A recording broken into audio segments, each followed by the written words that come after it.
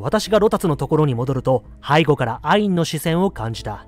様子を伺っているのだろう。アインルートを進めていきます。ロタツはアインへと一礼し何があったのかを私に尋ねた。一言で説明できるかな？私は真剣に彼を見つめ口を開いた。ロタツ一つお願いがあるの。帰ったら今日のことは誰にも話さないで。ヒロインの名前今日も飲んだ翼と名付けてプレイをしていきます。それからいや一つって言ったよね。お願い。彼の耳元に口を近づける。ごめんなさい。ロタツがわずかに目を見開く。次の瞬間私は彼に素早く手を振り下ろした。あ隙をついてってこと？ごめんなさいって先に言えば何でもありってわけじゃないからね。小さくうめいて力を失ったロタツを支え彼の体を丁寧に地面に下ろす。意外とあっけなく倒れちゃう。誰も使っていない小屋を近くに見つけ私は気を失ったロタツを中へと運んだ。怪力女。そうロタツ運べるんだよね。雪の中に残していけばすぐに凍えてしまう。こうするしかなかった。魔法塔の監視から逃れるためにはロタツの職務放棄こそが必要条件だったから。まあ監視役だけどね。まあ確かにこのままだとロタツルートになっちゃう。思っていたより決断力があったな。だが。いやでもこのアインルートの方が茨の道感はあるけどね。目の前に白い光がよぎった。顔を上げるとアインの剣がロタツの喉元に突きつけられている。何をするつもり？最善の方法を取る。イケメンを美味しくいただいちゃう？そう言うや否やアインが剣を振るおうとする。私の体は考えるよりも先に動き脳筋だからね。気がつくと右手で刀身を掴んでいた。その手のひらから血が滴る。その怪力で刀身掴んじゃうの？刀を。アインは動きを止め私の手を見た。瞳の奥に動揺が走る。なんだこいつって思ってるだろうね。気でも触れたか。素手で剣を掴む奴がどこにいる？ここにいます。それでも私は手を離さなかった。痛みも感じなかった。システマの使い手か？今はそれどころではない。ロタツが私のために命を落とすなんてそんな光景は何があっても見たくない。そうね。まあこのロタツの妹が犠牲になって召喚されたのがこのヒロインだからね。お前は言葉の先を飲み込んだ愛の瞳からは鋭い光が消えていた。もういい。話せ。アインの手から力が抜けゆっくりと剣が下ろされる。しくじったら容赦しないからな。いやでもこんな奇怪な行動をとるヒロインと味方になりたいって思うのかね？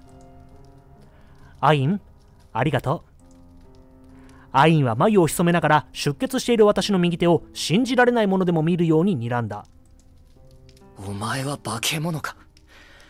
魔術師の連中が異世界からわざわざ召喚したのは化け物だったのか。アインはどこまで知ってるんだろうね。ただそのロタツの妹シリンの部屋までは知っていたわけで結構真相には迫ってそうな感じなんだけどね。何よ？私のことが怖くなった？私は無理をして笑みを作った。きっと泣き顔よりもひどい顔だったと思う。でも意外なことにアインは笑っていた。笑いのツボが謎。あいにくだが僕も似たようなものだ。アインは私の手を取り怪我の状態を確認する。私は思わず息を詰まらせた。痛みが今になってやってきたのだ。アドレナリンが出ていたのかもねさっきは。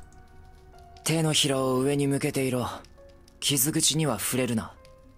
このロタツとかいう魔術師は別の場所に移しておく。傷つけはしない。安心しろ。だからお前も言われた通りにしろ。面倒は起こすな。まあ確かにこの感じだとコントロールされづらい相手だなとは思ってるだろうね。私は黙って従った。アインが手を振ると2人の静粛者の兵士がロタツを抱えて去っていった。ほら2人がかりでしょ？ここ1人で運べちゃうのがこのヒロイン。そいつの傷を治してやれ。誰この女？魔術師は何も言わず淡く白い光を私の手のひらに集めた。あでも直してくれるんだね。治るんかな？しばらくすると出血してた傷口がみるみる塞がっていく。あありがとね。なんかこの女とか言っちゃったけど。すごい言っておくが魔術師の治療を当てにするなよ。治癒力を加速させるだけの単なる応急処置だ。重い怪我は治せない。うん。別にこれを当てにしてその刀を握ったわけじゃないからね。治療が終わるとアインは魔術師を追い払った。さあお前はもう帰れ。今日の茶番の後始末があるからな。うんアインが救ってやったってことにしろっていう話だったよね。高級まで送ってやる。誰かに出くわしてもお前は口を開くな。僕が対応する。うん。まあロタツがしくじったってことになってるからね。そして人気のないあこれ人気のないかな？スラムは人気なくて当たり前。人気のないスラムの路地裏を抜け私たちは小さな広場へと出た。場所を移しますそこにはすでに馬車が用意されていて私はアインと一緒に乗り込んだ。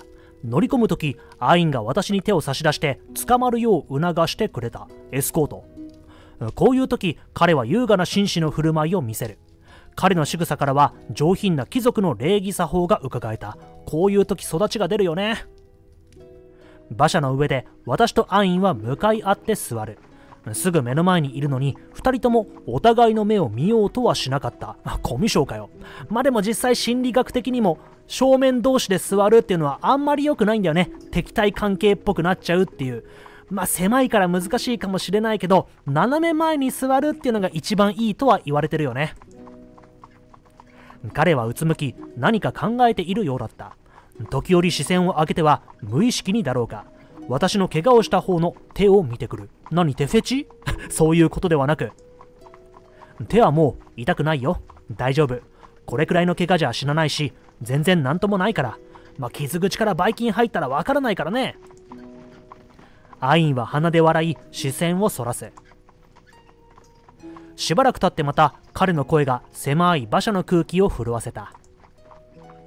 静粛者が何をする組織なのか。お前には説明しておいた方が良さそうだな。あこれは知りたい。その方がお前も僕という存在をより理解できるだろまあちょっと上から目線は気になるけれども。アインはロカが自ら任命した皇帝の第一継承者であり静粛者部隊の長でもある。まあ実際上の立場か。まあこのロカのいとこなんだよねアインは。アインの方が年下ロカは一連の特殊な法令を制定した。人を害する者裏切り者暴走した魔術師は処刑するというものだ。静粛者は魔術師を管理する組織だ。魔術師に暴走の兆しが見えた場合即座に制圧しなければならない。これは露達ルートをやっているからこそ見えるところではあるんだけれども魔術師と表長は表裏一体の存在で魔術師が暴走してしまうと表長化する。そういう存在なんだよね。ただその表長を退治するためには魔術師の力が必要でまあそういった意味では魔術師に頼りたい部分もあるけどリスク管理として静粛者部隊も必要ということか。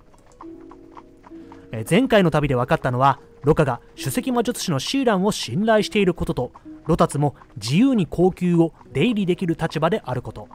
皇帝と魔法党が同盟関係にあるのは明らかだ、まあ、関係性良さそうなんだけどこれシーランに対する信頼だよね。シーランが思うところっていうのは世界を救うために魔術師を犠牲にしてもいいっていう考えがあるからなんだろうけれども。まあだからこそシーランのことを立ててやろうっていうのが皇帝ロカの立場なのかな。なのに皇帝が静粛者部隊に魔術師の監視と処刑を任せているということはイエセイ大陸における各勢力の関係は思った以上に複雑だということか魔術師とは何度か戦ったけどその実力は反乱軍や一般の兵士よりはるかに上だったそんな魔術師の中でも上層部にいるロタツをまあ上層部、まあ上層部の方だよね。隙をついて一瞬で意識を失わせるっていうのは、そりゃ脅威の存在、化け物に見えるよね。そんな魔術師を監視処刑する静粛者とはかなり危険な仕事なんだろうロカはアインを後継者にしている一方でそんなリスクの高い任に据えている。なんて奇妙な兄弟関係なんだろうか。まあ、兄弟というかいとこだよね。親戚関係。考え込む私の顔がおかしかったのかアインがふっと笑い出した。笑いのツボが謎。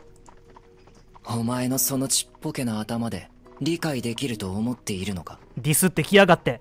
化け物とかね。私は不満げに彼を睨んだ時間をもらえればわかるよ。そうか。ならばその日を楽しみに待っている。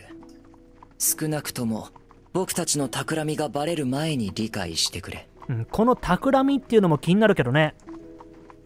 アインは大して興味もなさそうに冷たく言葉を放った。彼の横顔を見て不意に気づく。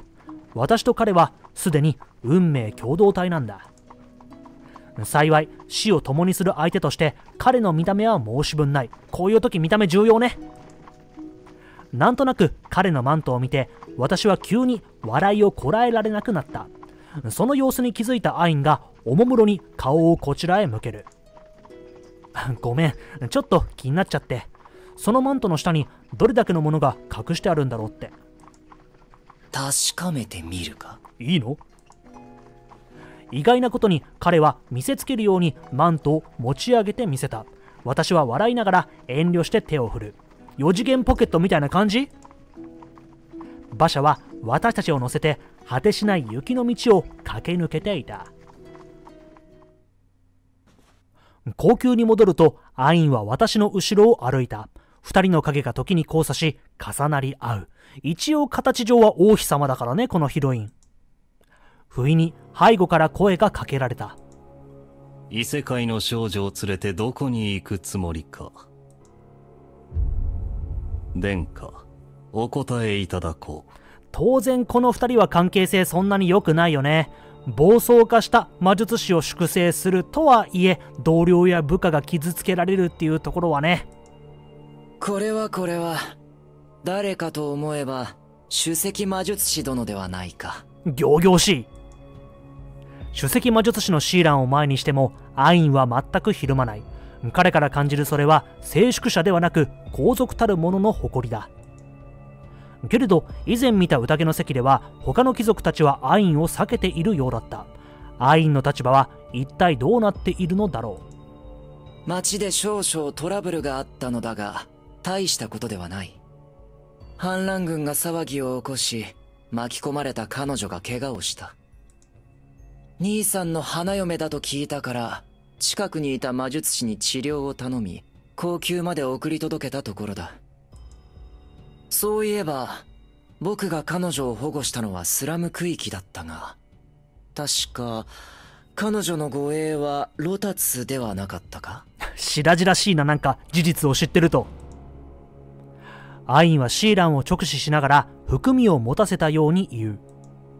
彼女を放ってロタツはどこに行った？ぜひ首席魔術師殿に調べてもらいたいのだが。シーランはアインを観察するように目を細めた。まるで測ったかのようなタイミングですね。アイン殿下。ああこれは信用してない感じだね。見回りの最中に偶然彼女を見つけてね。兄さんの花嫁なんだ。僕には彼女を守る責任があるだろう。僕の行いが忠実ではないというのならこのまま兄さんに許しを請いに行こう。貴殿が危惧することなど何もない。うん不倫じゃないですからね。ましてや不貞行為なんてね。それとも首席魔術師殿は僕に命令をするつもりか？それが事実であるならばアイン殿下のお手柄です何も問題はございません。事実であるならばね。ただ彼は淡々とした動きで私を一別した。瞳のレンズの向こうに鋭い視線を感じる。手のひらを怪我しているようですが傷口が妙ですね。随分と女性思いの反乱軍だったと見えます。まあ自ら刀を握っての怪我だからね心臓が激しく脈打つ。確かにもし本当に反乱軍の襲撃にあったのならこんな怪我で済むわけがない。こっちの動揺でなんか見透かされちゃうところあるかもね。シーランの視線が私とアインの間を行き来する。私は頭をフル回転させこの状況を乗り切る方法を考えていた。ちっぽけな頭で。そこに低く響く足音が背後から聞こえてきた。ロカだった。シーラン教九死に一生を得た俺の花嫁をそれ以上脅かさないでやってくれ。陛下。見ろ。怯えているではないか。犯人を見るような目で彼女を睨まないでくれ。いや形だけの王妃とはいえその生贄までの時間は自由に過ごさせてやりたいっていうのがロカの思いなんだよね私をかばうような物言いでロカの視線はアインに向けられていた。その瞳からはわずかな笑みも感じられない。アインの言葉を思い出す。この二人の間に兄弟の絆があるとは到底思えなかった。どうなんだろうロカ側からするとまたこの目線は違うんじゃないかな。皇帝は弟に場外の見回り役をさせ己が帝国を統率するための剣として使っている。皇室で贅沢な暮らしを満喫させることだってできたはずだ。まあそりゃそうなんだけれども本人に、まあ、その主体的に生きてもらうっていうのも幸せの一つだったりもするしまあとはいえリスクを負わせすぎかっていうのはあるかもね。それに私の見間違いでなければロカが現れた瞬間アインの目には明らかな憎しみが浮かんでいた。あやっぱ関係性良くないんだ。それもすぐに冷たいうやうやしさに戻ってしまったけれど。ロカはそんなアインの変化に気づかなかったのか動じることなく先ほどまでの言い争いを調停する。彼女の護衛を任されていたのは魔法党のものだろ職務を果たせなかった部下の代わりに謝るのが筋じゃないのか？問答をするつもりはございません。陛下は彼女をどうするおつもりですか？うん。野放しにするのかっていう話ね。俺には俺の考えがあるそれに頼もしい弟もいる。いやアインを立てるよね。ロカがアインのことを口にする。アインはどんな顔をするんだろうと振り返ってみたら彼はいつもの冷たくもうやうやしい表情を浮かべたままだ。顔色が変わったのは首席魔術師の方だった。陛下お戯れも大概に。どうか我々の名役をお忘れなきよううん。まあ表彰を退治するっていう都合のいいところだけの関係性ってわけじゃないからね。シーランは冷たい目でロカを一別し身を翻した。ロカは気にした様子もなくすぐ隣の議事ホールへと向かった。入り口の前で足を止め振り向いた彼は私とアインに頭を傾けてみせる。ついてこいの合図だろう。さて鬼が出るか？蛇が出るか。行くぞ。アインが先に歩き出した。私も深呼吸しポケットのペンダントを握りしめる。かすかな痛みが緊張をほぐしてくれることに期待して。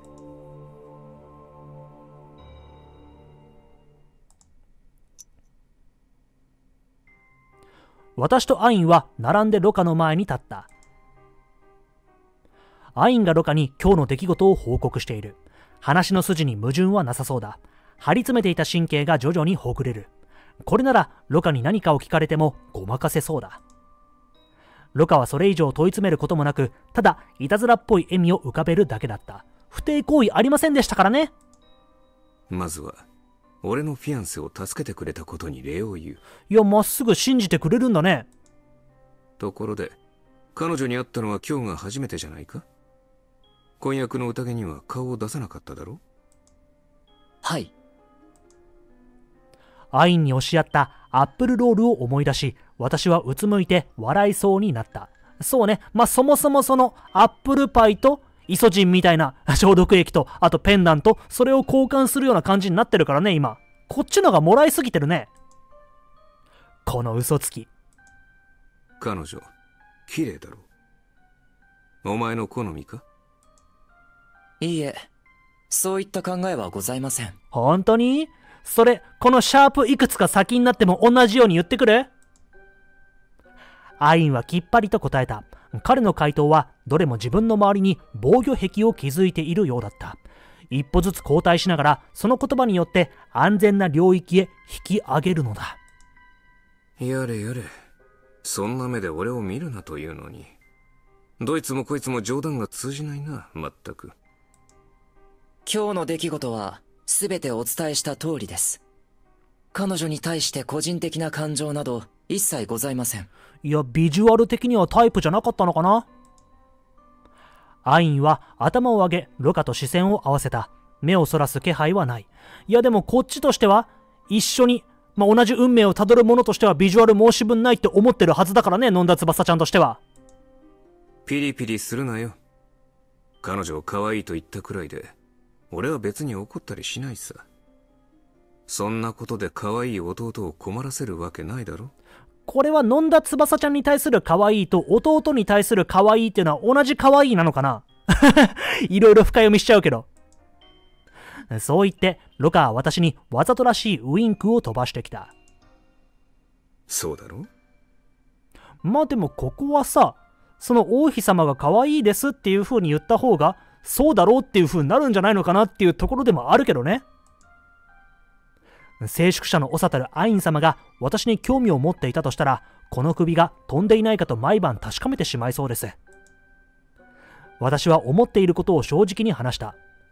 国威の兵士が背負う巨大な剣を思い出すたび、心臓がブルッと震える。だけど、私は分かっている。この皇帝は私に興味なんてまるでなくって、ただの道具としてしか見ていないということ、まあ、生贄のこと、知らないんだろうっていうふうにロカは思っているってことでしょ、この段階では。あるいはアインの言う通り、最後の数日間のおもちゃとしてここに置いているのかもしれない。まあでもロカとしては、生贄になるまでの時間は自由に過ごしてもらいたいっていう思いのはずだけどね。アインは黙り込み、ロカは大声で笑っていた。私の返事はロカにとって愉快だったらしい。冗談通じるね。ロカの笑いがやみ、空気が再び不気味な静けさを取り戻すと、彼は私たちに手を振ってみせた。二人とも疲れただろう。今日は早めに休むといい。アイン、彼女を部屋まで送ってやってくれ。ロカはアインに対して全く身構えない。それどころか寛容と言える態度をとっている。兄さん、一つだけお願いしたいことがあります。本当に一つだけ？この少女の監視を僕の方で増やしてもよろしいでしょうか？兄さんから退任を任された以上、より慎重に臨みたいのです。まあ確かに監視役のロタツがいなくなっちゃったからね。こんな目にあったばかりだというのに、まだ人手を増やすつもりか？彼女だって手の傷が塞がったばかりだろう。さすがの俺も彼女に同情せざるを得ないな。アイン、お前は信頼できるが、冷酷すぎるのがたまに傷だ。アインはただ黙って刃のようにまっすぐ背筋を伸ばしていた。他に何かご命令は？あ、本当に一つだけだったね。あと一つ。これ以上俺の花嫁を怖がらせるな。お前もシーランも、女性の前では騎士道精神を保つべきだ。ルカはアインの肩を軽く叩いた。それは彼の提案を黙認したという意味でもある。私は廊下に沿って歩き、皇妃の神殿に戻った。すぐ隣にアインがいる。部屋はこの先だ。戻ったらしばらく安静にしていろ。ええ、わかった。優しい言葉もかけられるんだね。すでにロカとシーランから疑われている。今日これ以上動くのは賢明じゃない。アインは私を見て小さくため息をつく。次の瞬間、彼はずいっと体を寄せてきた。アインの低い声が羽のように私の耳をくすぐった。お前に渡したものは肌身離さず持っていろ。ペンダントね。今日のことで多くの者の注意を引きつけるだろう。ロカ、シーラン。それから、何かを企んでいる連中もだ。うん。まあ、この魔法刀と皇室、なんだろう、思いは一つっていう感じではないからね。そいつらがお前に干渉してくる可能性がある。だが、小さなトラブルなら、それでなんとかなるはずだ。おそんな力があるんだ大きな面倒事は、できるだけ避けろ。忘れるな。もしお前が収拾のつかない騒ぎを起こしたら、僕は躊躇なくお前を見捨てる。いやこれはどうこのヒロインに利用価値を求めているのかっていうところにも関わるよねそう言ってアインはギビスを返そうとする私は不意にあることを思い出し彼を呼び止めたねえアイン。私の顔どう思ってたの？その話ここで掘り下げる。本当は可愛いと思ってたんでしょ？アインは眉をピクリと動かした。こんなことを聞かれるとは思わなかっただろう。だって昨日あなたはお前こんな顔だったんだな。とそう言った。その言葉を口にする前に私は彼に言葉を遮られる。うんこれどういう意味だったんだろうね？ああ、あれか。信じられないくらいブサイクだったから、皇帝の座に座ってるのが僕じゃなくてよかったって意味だ。天の弱な男。何それ？ひどくない？まあ、化け物扱い？化け物として見てるんだもんね。私はアインを睨みつけ勢いよく扉を閉めようとした。しかし彼はその扉を片手で受け止め無理やりこじ開けてくる。こっち怪力ですけど手挟まないようにね。まだ何かあるの？扉を隔てているせいか彼の声はこもっていていつになく軽かったまるで耳に滑り込んでくるようだ寝る前に、ちゃんと首を確認しろよ。あやっぱその話気にしてました？え？静粛者の長がお前に興味を持ったら、首が飛んでないか毎晩確認すると言っていただろう。なら、今日からそれがお前の日課だ。ってことは今後興味持つ可能性あるってこと？彼はそう言い残すとあっさりと立ち去った。もしかして彼は B 戦なのかな？だから決してブサイクっていうのは悪口ではなく褒め言葉だった可能性もあるね。え？ちょっとそれどういう意味？別に美人が好きだなんて一言も言ってないもんね。私の聞き間違いじゃないよねブサイクだから嫌いっていうわけじゃないはず。いや顔なんてやっぱねその人の好みだから正解不正解じゃないからね。慌てて問い詰めようとしてもアインの姿はもうどこにも見当たらなかった。恥ずかしくなって急いでいなくなったんでしょうね。しばらくして高級の次女が包帯と傷薬を持ってきた。もう一つのプレートには妙に色の濃い薬湯が見える。イソジン？これは？アイン殿下の言いつけでございます。巫女様のお怪我を手当てをするようにと。じゃあこっちは？見るからに怪しい薬湯を指さした。これ本当に飲んでも大丈夫なやつなんでしょうね。いやアインの時は躊躇なく飲んだけれども。こちらは巫女様のためにご用意したハーブティーでございます。今夜は落ち着いて眠れないかもしれないからこれを飲んでくつろいでほしいと殿下がおっしゃっておりました。おハーブティー。その言葉の意味を理解し私は渡されたハーブティーを一気に飲み干した。利尿作用気になるけどね。寝る前にお茶飲むとね。残念ながら現代人の私にはこのハーブティーはさほど効果がないようだ。あこの世界ではハーブティー効能あるものとされているのかもね。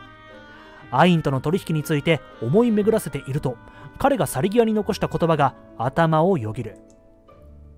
私がうとうとし始めたのは天井とのにらめっこを繰り返し空が白みがかってきた頃だった。でこの動画の最後として戦いを挟みましょうかね。勝っちゃったみたいだ。なんだか申し訳ない。さあどんどん行きましょう。夜うなされてという話かなここで戦い、うん、この戦いのタイトルも夢をさまようっていう風になってたからこれ夢の中での戦いってことなんだろうね。落ち着いて眠れやしない、勝利か。幸先いいな。うん、無事に勝つことはできました。窓の外から差し込む朝日に私は目を開いた。といったところで今回はここで一区切りにしておきましょう。ストーリー上ね、仕方のないことなのかもしれないけど、ただただロタツがかわいそうな展開にはなったよね。でも、ただでさえ妹シリンを亡くした直後だからさ、ロタツにはゆっくりと過ごしてもらって、で、その間にアインと共にイエセイ大陸を救う道筋を見つけて、ロタツも救える未来になったらいいのかなと思うよね。アインルートをロタツのバッドエンドにしないためにも頑張りましょう。怪力ブサイク化け物女と嘘つきコムショ天の弱イケメンとの恋物語。引き続き男性目線で彼の気持ちを紐解く乙女ゲーム実況者としてプレイをしていきます。もしよかったら高評価やコメントをしてもらえると嬉しいです。今回もご視聴ありがとうございました。また次回もお待ちしております。